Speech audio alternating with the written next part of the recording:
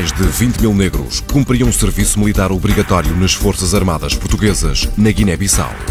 Mas depois da independência, a sua elite foi fuzilada sem julgamento. As famílias dos executados e a maioria daqueles que escaparam continuam a viver situações de miséria e discriminação. Até hoje, o Estado português pouco ou nada fez.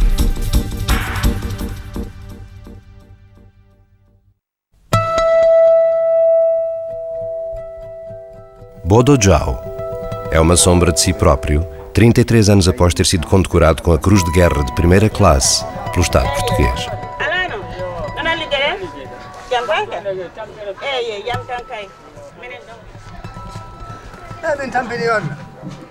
Eu trabalho com branco manga de ano. Eu levo manga de prata na mato. Andava noite, andava de, dia, andava de chuva, andava na mato, na sol, canseira, bebe água, água podre.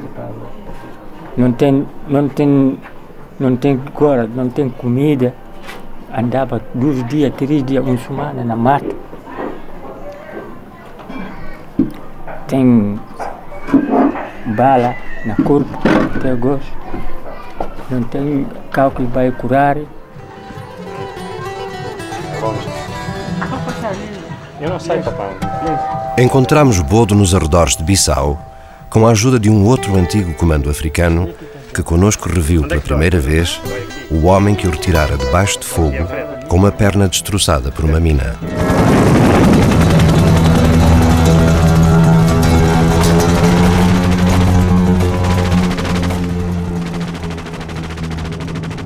Eu fiquei uh, com lágrimas no olho, porque uh, Bodó foi um combatente, foi um militar uh, de elite. Eu nunca vou esquecer Bodó.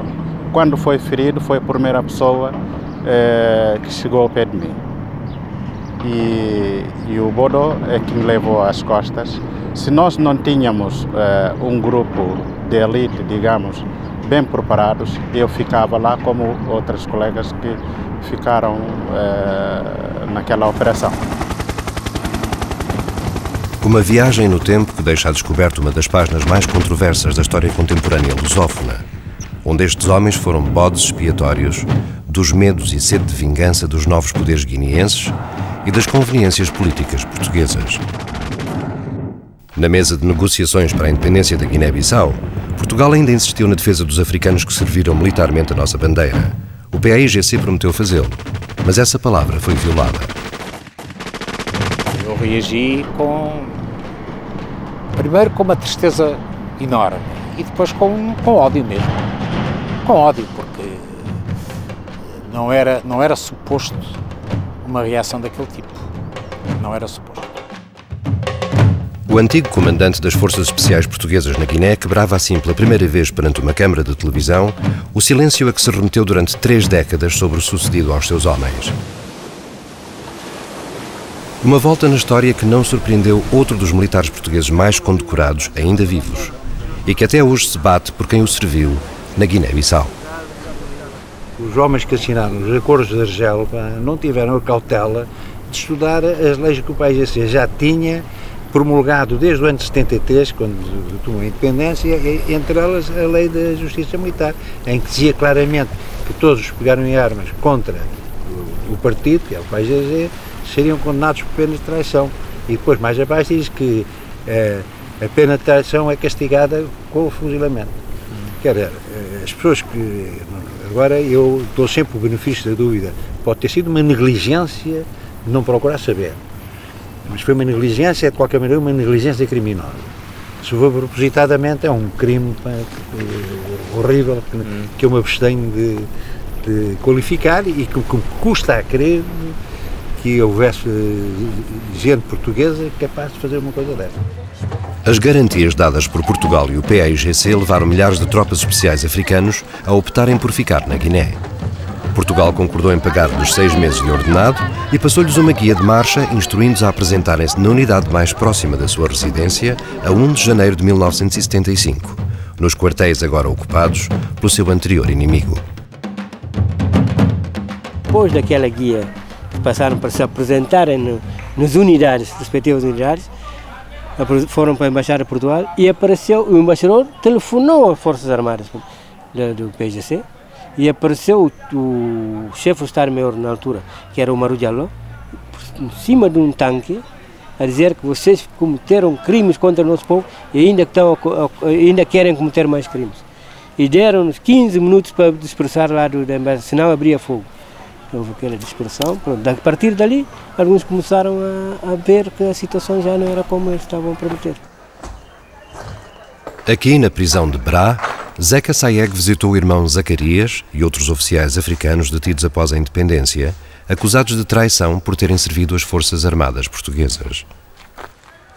Todos eles seriam fuzilados, sem julgamento. Vocês sentem uh, que foram enganados na até maneira como tudo hoje, se passou? Até hoje ninguém, ninguém, ninguém ficou satisfeito com, com o procedimento do, governo. Nunca esperávamos que o governo português procedesse da forma como procedeu. Nunca. Zacarias Saeg foi preparado para servir um projeto de autodeterminação guineense. Depois acreditou num futuro liderado pelo PAIGC, mas acabou executado. Episódios de torturas, execuções sumárias e sepulturas em valas comuns multiplicaram-se em locais como Comeré, Mansoa e Farim. Mas também em Bamba Dinka, onde este celeiro foi uma antecâmara do inferno. Ali não, não fico sem comer nada, guarda está falando a nós, nunca tem salvamento, não namore, a nós tudo não namore.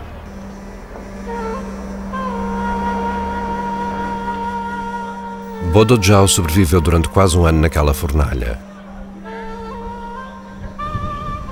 Muitos ali morreram sufocados, sobre a urina e fezes de mais de 500 homens que apenas iam saindo para serem executados ou sepultarem companheiros.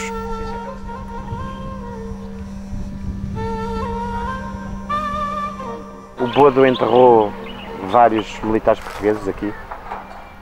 Manga dele. Manga dele. Terror que manga dele.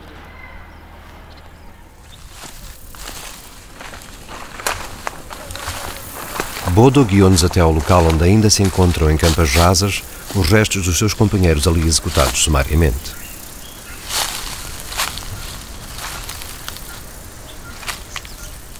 Lì, sino chega ali, non è, non è cova cova, sino cova tudo e acaba. E na bem que gente que está matado, está tecido ali, e matá-lo, e falando a nós para não tomar areia, não, não cobrir eles, se dos, não acaba aquela, e na ribantano, na bambadinca. Outro dia, se não na cova mais cova, durante canto eh, a nós, dez pessoal, tudo não na cova, cova assim. Não meti dois na um cova, outro três na um cova, não na meti eles lá e fuzilar eles tudo, pam, pam, pam, pam, toquei acabar. Bodo regressou agora pela primeira vez ao cenário deste pesadelo. Há 31 anos, quando lhe tocou a vez de ser fuzilado, ao aproximarem-se do poilão que marcava o local das execuções, saltou do caminhão em andamento, com os braços amarrados atrás das costas sob tiros dos seus captores. Fica sete dias na mato, sem comer, sem comer nada, só água. Durante e dias vai, chega na casa, e minha mão, tudo, um capo de gara, nem panha, som. Nada, na mão. Bodo fugiu para o Senegal e sobreviveu no mato durante dois anos, antes de regressar em desespero à sua terra natal e tentar obter, a medo e até hoje, um visto que aguarda há um ano para descansar em Portugal. Apesar dos poderes instituídos na Guiné negarem estas ocorrências, documentos oficiais atestam mortes por fuzilamentos, como a deste antigo comandante da 2 Companhia de Comandos, o capitão graduado Adriano Sisseco. Eu, na minha, na minha juramento de bandeira, até agora, até agora eu sou português. Defendeu pátria de português.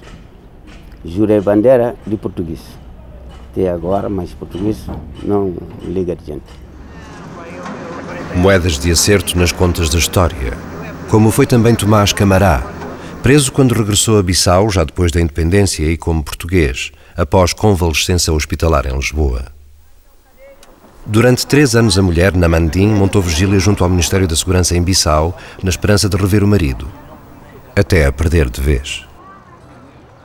Até hoje a senhora não sabe onde é que está o corpo do seu marido? Até hoje. Até hoje não sabe e nem a minha colega ninguém sabe. Isso é uma dor que vocês querem. Isso é uma dor que ninguém esquece até o fim da minha vida. Isso é uma dor que uma pessoa tem até o fim da minha vida. A 14 de novembro de 1980, Nino Vieira liderou um golpe de Estado contra o então presidente Luís Cabral. Oito dias depois, mostrava algumas valas comuns pelas quais responsabilizou o regime deposto. Em Lisboa, a Associação de Comandos multiplicava esforços para salvar os antigos companheiros de armas, escondidos no mato senegalês, onde eram perseguidos pelos serviços secretos e militares dos dois países vizinhos. A Associação de Comandos foi de facto extraordinária.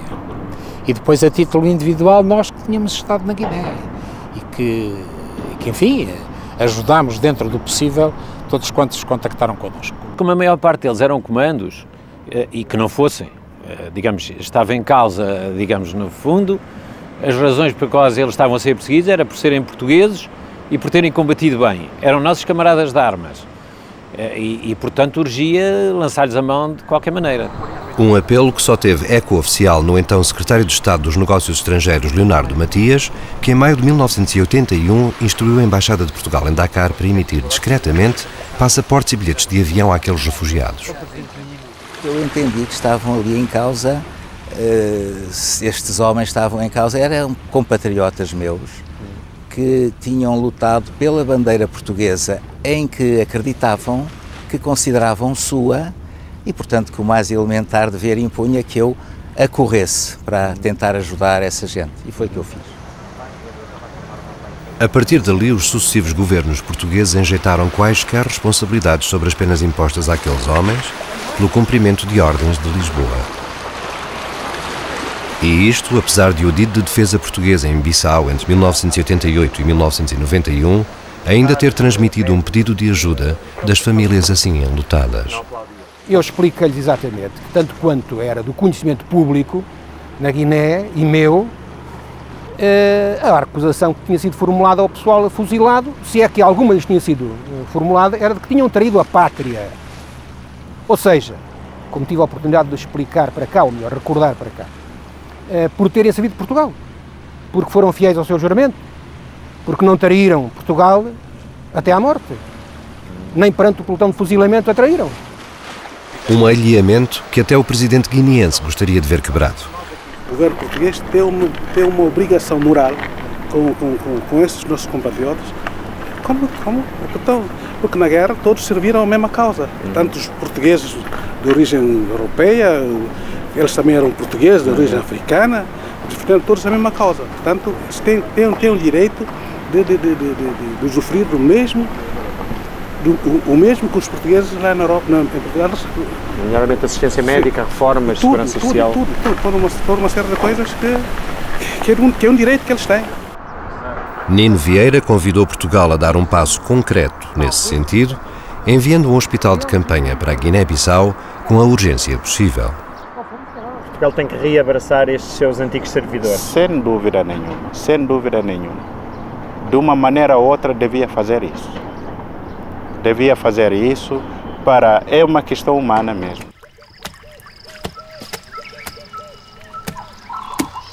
No mato da Guiné, a vida parece ter recuado séculos até à casa da partida da sobrevivência. Espreme-se o caju em canoas de madeira